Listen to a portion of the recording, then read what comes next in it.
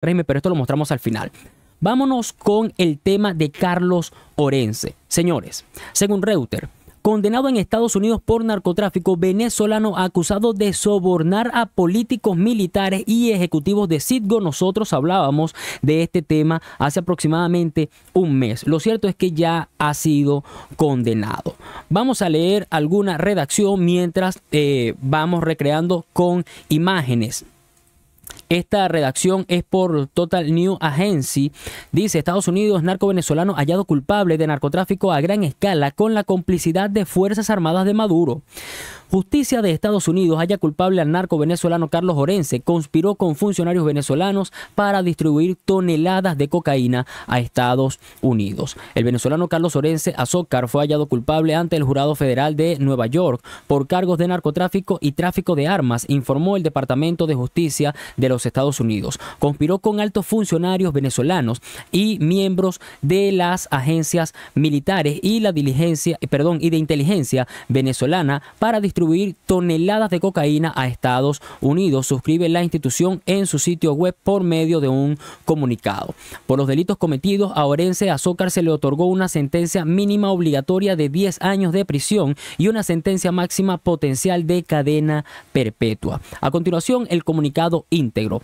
Damian Williams, fiscal federal para el Distrito Sur de Nueva York, y Annie Milgram, administradora de la Administración de Control de Drogas de los Estados Unidos, anunciaron que eh, un jurado emitió ayer un veredicto de culpabilidad contra Carlos Orense Azócar por los tres cargos en la acusación que contenía cargos de, de importación de cocaína y armas. El acusado fue declarado culpable tras un juicio de dos semanas ante el juez federal de distrito Vernon Broderick.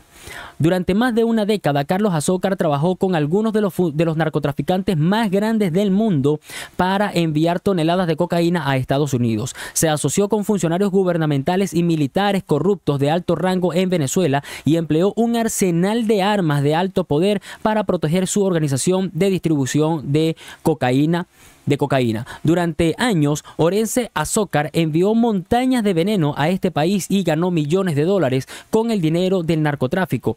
Pero no más. Un jurado de ese distrito ha declarado por unanimidad a Orense Azócar responsable de sus crímenes y ahora enfrentará una posible sentencia de cadena perpetua tras las rejas, afirmó el fiscal federal Damian Williams. Orense Azócar y su organización narcotraficante utilizaron todos los medios disponibles, incluido armamento de alto poder, corrupción gubernamental y sobornos para salvaguardar su operación expansiva y traficar cientos de toneladas de cocaína a los Estados Unidos. El veredicto de hoy es otro ejemplo del trabajo peligroso y vital que la DEA realiza todos los días en todo el mundo y nuestra incesante búsqueda de justicia para los responsables de causar daño al pueblo estadounidense, refirió la administradora de la DEA, Annie Milgram. El historial criminal de Carlos Orense. Como se refleja en la acusación, eh, los expedientes públicos y las pruebas presentadas en el juicio a partir del 2003 o alrededor de esa fecha, Orense Azócar y su organización narcotraficante distribuyeron toneladas de cocaína destinadas a la importación a los Estados Unidos. Orense Azócar ayudó a transportar, recibir y distribuir cargamentos de cocaína que oscilaban entre cientos y miles de kilogramos desde Venezuela a México, la República Dominicana y otros lugares, utilizando rutas aéreas y marítimas. Orense Azócar operaba fincas o ranchos en Venezuela donde almacenaba su cocaína en tanques subterráneos, almacenaba, almacenaba, cientos de armas mortales y miles de municiones y que contaba con pistas de aterrizaje clandestinas desde donde despachaba aviones cargados con cocaína. Orense Azócar también cargaba cocaína en lanchas rápidas que navegaban desde la costa venezolana hasta puntos intermedios de entrega en el Caribe, incluida la República Dominicana y cerca de Puerto Rico. Para ayudarlo en su distribución de cocaína, Orense Azócar trabajó y pagó sobornos a funcionarios de alto rango en todo el gobierno venezolano, incluidos generales, militares y oficiales del ejército, comisionados de la Policía Nacional y funcionarios de alto rango de las agencias de inteligencia venezolana. Las conexiones corruptas de Orense Azócar con el gobierno venezolano aseguraron el acceso a armamento de grado militar, protección contra, contra militares y policiales policiales paso seguro para los convoyes de cocaína de Orense a a través de los puntos de control y códigos fraudulentos de transportador de avión para permitir que los aviones cargados de cocaína de Orense a salgan libremente de Venezuela. Ruta hacia Centroamérica y México. Orense Azócar también se asoció con fuerzas guerrilleras armadas que operaban en Colombia y Venezuela para obtener cocaína y asegurar el paso seguro de sus envíos de cocaína. Orense Azócar distribuyó cientos de toneladas de cocaína y ganó decenas de millones de dólares óigase bien, con su tráfico de narcóticos. Para proteger y expandir su organización de tráfico de cocaína, Orense Azócar empleó armamento de alto poder, tenía equipos de seguridad armados que custodiaban su finca, viajaban en vehículos blindados con seguridad armada y utilizó seguridad armada, fuerzas militares y policía para proteger sus convoyes de cocaína. Y Maduro no sabía nada. Entre otras armas, Orense Azócar empleó fusiles automáticos, metralletas, pistolas, pistolas modificadas para eh, funcionar como metralladoras y una ametralladora montada calibre 50. Orense Azócar, de 68 años de Venezuela, fue condenado por tres cargos. Conspiración para importar cocaína a los Estados Unidos que conlleva a una sentencia mínima obligatoria de 10 años de prisión y una sentencia máxima potencial de cadena perpetua. Usar y portar ametralladoras durante y poseer ametralladoras ametralladoras para promover la conspiración para la importación de cocaína que conlleva una sentencia mínima consecutiva obligatoria de 30 años de prisión y una sentencia máxima potencial de cadena perpetua. Y tres, conspirar para usar y portar ametralladoras durante y poseer ametralladoras para promover la conspiración de importación de cocaína que conlleva una potencial máxima de cadena perpetua. Ahora, todo esto se hizo a espaldas de Nicolás Maduro y Nicolás Diosdado Cabello y todos los que están en este momento pedidos por los Estados Unidos no sabían nada. Diosdado, tú no sabías nada. Maduro, tú no sabías nada. Padrino López y todos los demás. Ahora, ustedes saben que también llama muchísimo la atención que eso no es lo más importante, sino el testimonio de Orense, donde menciona algunas personas un tanto importantes que nosotros los venezolanos conocemos bastante bien. Vámonos rápidamente porque este testimonio es corto, o por lo menos la extracción más importante es corta, y acá se la colocamos en pantalla. Testimonio contundente.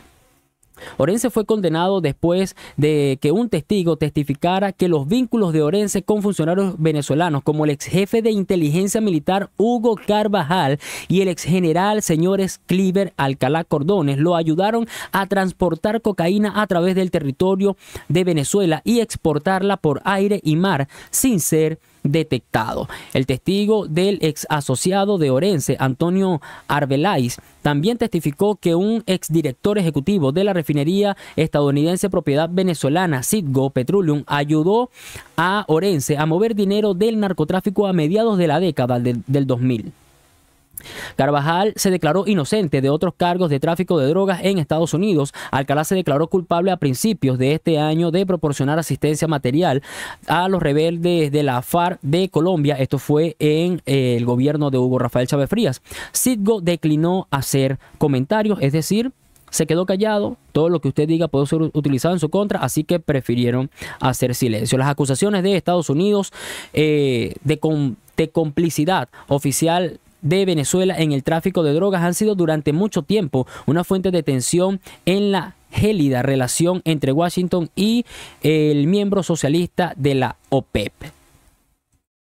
Hugo Carvajal y Cliver Alcalá cordones salpicados por el caso de Carlos Orense. Y es que acaso Cliver Alcalá Cordones para aquellos años, 2003, 2004, 2005, para cuando este señor ya comenzaba a hacer sus grandes envíos, no tenía muy buenas relaciones con, con Chávez. Ustedes recuerdan cuando Cliver Alcalá Cordones sale del, eh, o, o bueno, comienza a ser disidente del chavismo, él mismo no denunció de algunas pistas clandestinas donde sacaban droga y la cuestión. ¿Y no será que esas pistas clandestinas operaban bajo el permiso tuyo y principalmente bajo el permiso de Hugo Rafael Chávez Frías. Hablemos de Hugo Carvajal, quien fue el jefe de contrainteligencia de Hugo Rafael Chávez Frías, quien blindaba a Hugo Rafael Chávez Frías. Y Chávez no sabía nada. el presidente supremo, el intergaláctico, el libertador de Venezuela, no sabía nada.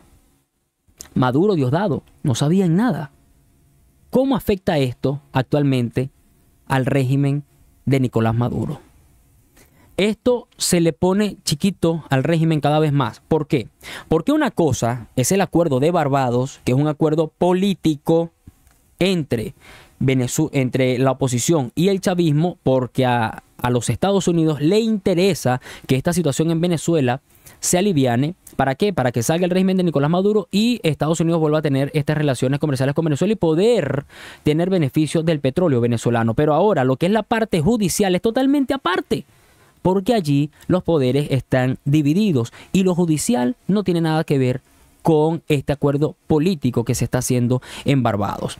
Por esto es que el régimen de Nicolás Maduro está utilizando muchísimas cosas para desviar la atención. No solamente es la política, y ahora esto que se acaba de dar con Ángel Heredia también va a servir probablemente para desviar la atención. Que reitero, este caso de Ángel Heredia es bastante delicado. Hablando de estos de estos dineros sucios que llegan a los que conforman el régimen de Nicolás Maduro, me llama la atención que el año en el año 2022 Omar Enrique le hizo un pequeño detalle a su hija cuando estaba cumpliendo 15 años.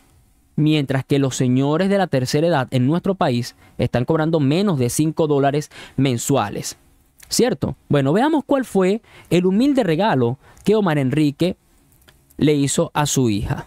Acá está, vamos a leer lo que dice. Esto lo, posteaba eh, Las Verdades del Azar en la red social X. El humilde obsequio que el príncipe del merengue le dio a su hija por sus 15 años, mientras los abuelos reciben de aguinaldo el dedo del medio. Algunos borregos seguirán yendo a conciertos para pagar estos lujos. Y estamos seguros que solamente es dinero de los conciertos, porque mucha fama hay de que presuntamente estas, estas organizaciones eh, sirven también para el lavado de dinero. Y algunas personas dirán, ¿y cómo tú tienes prueba, muchacho, de que ese carro ahora Omar Enrique se lo regaló a la hija? Bueno, por supuesto, con todo gusto se lo mostramos.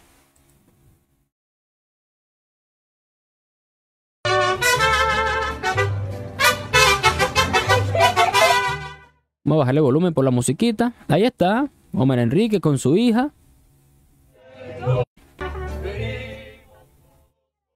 No es un holograma. Es ella realmente. Ahí está el carro, el que acabamos de mostrar en la imagen. Y vuelvo y digo lo que, lo que mencionaba en estos días. Algunos dirán, bueno, ¿y será que es que entonces ellos no tienen derecho a tener dinero? Pues no, no deberían tener derecho. ¿Por qué? Porque este señor está apoyando a un régimen que ha dicho infinidades de veces que no importa que el venezolano coma piedra, que siempre seguirá siendo chavista, lo dijo Desi Rodríguez. Tenemos a Héctor Rodríguez que dijo que no van a sacar a, los venezolanos de la clase baja para llevarlo a la clase media para que después aspiren a ser escuálidos. Tenemos a este señor que sigue a Chávez que decía que ser rico es malo y yo no he visto ningún pobre comprando este tipo de vehículos. Mientras ellos se dan la gran vida de capitalistas salvajes, porque eso es capitalismo, salvaje, llevar a la miseria a un país entero. Para tú hacerte rico, eso es capitalismo salvaje.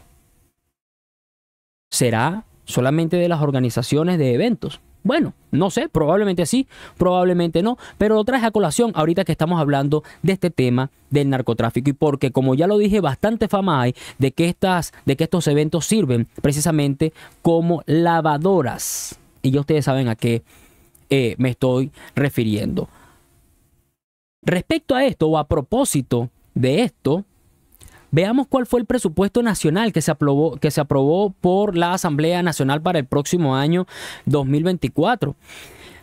Aprobó este miércoles la Asamblea Nacional en primera discusión el proyecto de eh, ley especial de presupuesto anual para el ejercicio económico y financiero de 2024 por un monto que asciende a 729.948 millones 434.691 bolívares. Acá dice la cantidad en petros, pero a nosotros no nos interesa mucho el petro, sino cuánto es esto en dólares. Obviamente yo le saqué la cuenta y esto es igual a 19.728 millones 336.074 dólares. ¿Y por qué me llama esto la atención? Porque ellos aprueban un presupuesto nacional. Nacional. Escúchese bien, el presupuesto de un país entero, por un año entero, año 2024, que equivale a 19 mil 19.700 millones, casi 20 mil millones. Y Tarek El Aizami se robó 23 mil compañeros. Es decir, que Tarek El Aizami se robó 3 mil millones más de lo que ellos aprobaron para el presupuesto del país entero en un año.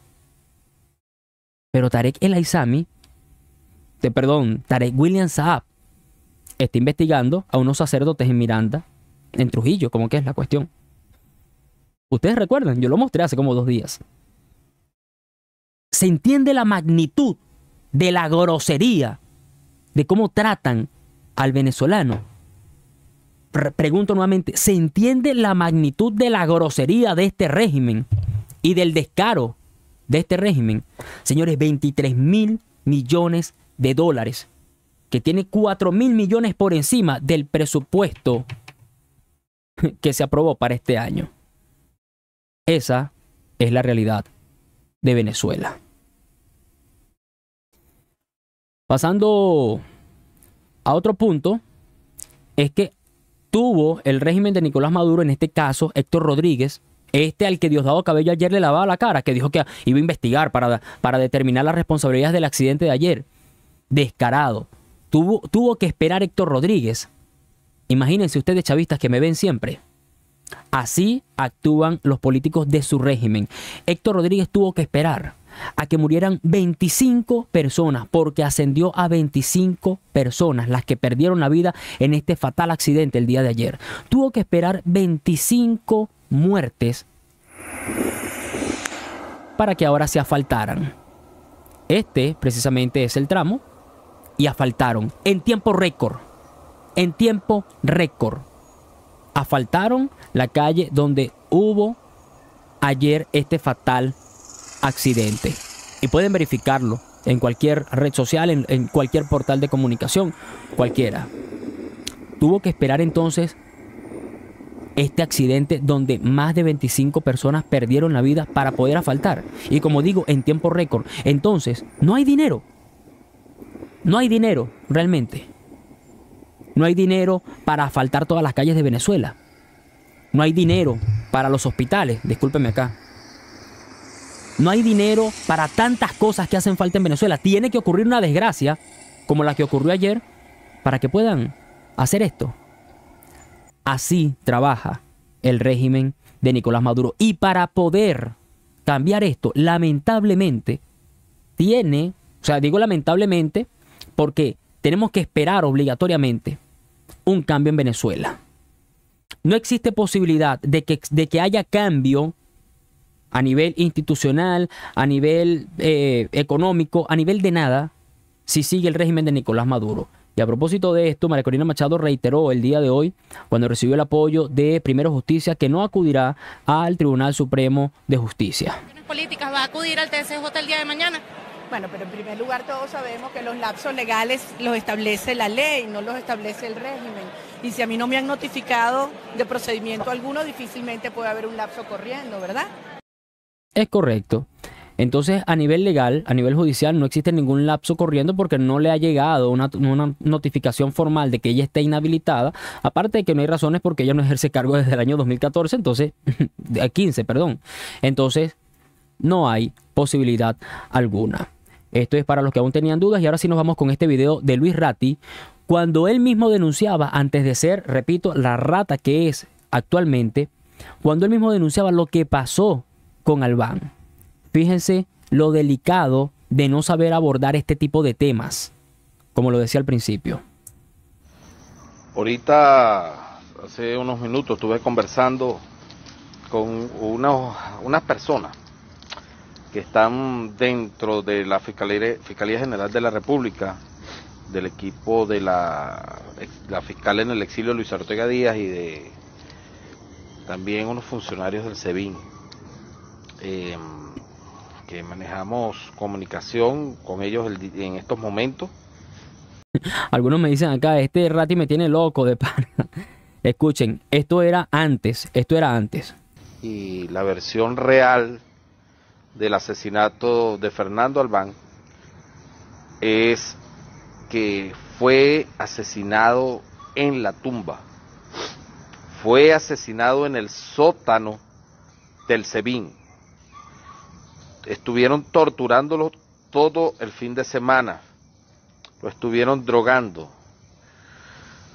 Y el día de hoy, eh, o sea, fueron implacables, fueron, eh, no tuvieron misericordia de él, le dieron todo el fin de semana tortura hasta que el día de hoy lo asesinaron y lo subieron al piso 10 y de allí lo lanzaron. Eh, yo le hago un llamado a los funcionarios del SEBIN eh, que manejan esta información, que busquen la manera de que eso se filtre y lo publiquen.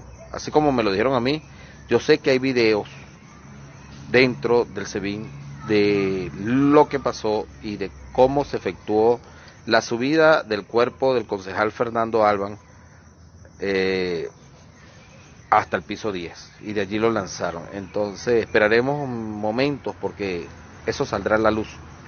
Fue asesinado en el sótano, en la tumba. Ya esa es la versión real, es la versión oficial real de, de la justicia de Dios, ¿ok? Eso no lo va a reconocer ni, ni el fiscal general de la República nombrado por la eh, ilegal constituyente, un hombre entregado al paranato, está la muestra están los, los tatuajes que él tiene. Ni por supuesto Néstor Reverol, ni los asesinos intelectuales con Nicolás Maduro, Jorge Rodríguez y Delcy Rodríguez.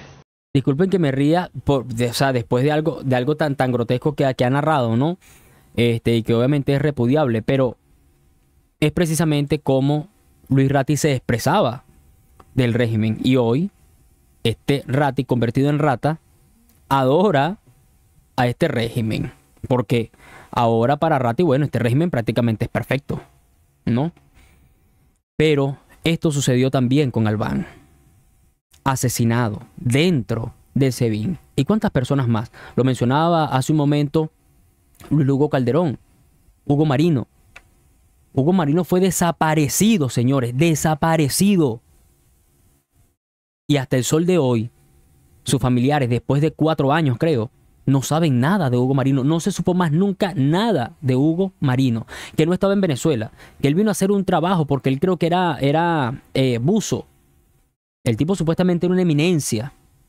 No sé, no se sabe cuál era, cuáles eran los vínculos que tenía, pero lo cierto es que apenas llegó a Venezuela, cuando fue al sitio donde iba a tener la reunión, se desapareció y más nunca se supo nada de él. Por eso es que es peligroso lo que está sucediendo en este momento con Ángelo Heredia. Algunas personas se estarán preguntando, pero ¿qué estaba haciendo Ángelo Heredia ya si él estaba en Estados Unidos? Son las cosas que yo no me atrevo a mencionar, porque son cosas que deben decirse en su momento por las personas que le corresponda hablar de este tema. No voy a ser yo el responsable de generar, como dijo eh, Luis Lugo, generar una cacería de brujas y, que de repente persigan a gente hasta innecesariamente por una irresponsabilidad de mi persona. Allá aquellos que quieran ganar rating y ganar fama eh, por estos, por, a, través de estas situaciones que como lo están viendo son bastante delicadas. Esperemos que eh, pues bueno, las instancias internacionales que no confío mucho en las instancias internacionales, pero realmente que haya una presión internacional de los gobiernos, de la política venezolana, eh, de todos en conjunto, para que realmente pueda aparecer sano y salvo eh, Ángelo Heredia. Que lo dejen libre es mucho pedir porque él se, se escapó de ramo verde, esto es algo que no va a suceder, pero por lo menos saber que está bien. Mi gente, muchísimas gracias por acompañarme hasta acá. Saludos a todos los que están en este momento, más de 1500 personas, un gentío realmente, más de 1500 personas. Eh, gracias a todos. Gracias por la confianza, gracias por la fidelidad, gracias por seguirme acompañando día a día y seguiremos informando, seguiremos rompiendo el bloqueo informativo porque queremos siempre ser esta pequeña ventana de la democracia donde se diga la verdad y donde usted esté informado con la verdad y con veracidad. Será hasta la próxima, mi gente. Esto fue Habla la Sociedad. Que Dios les bendiga.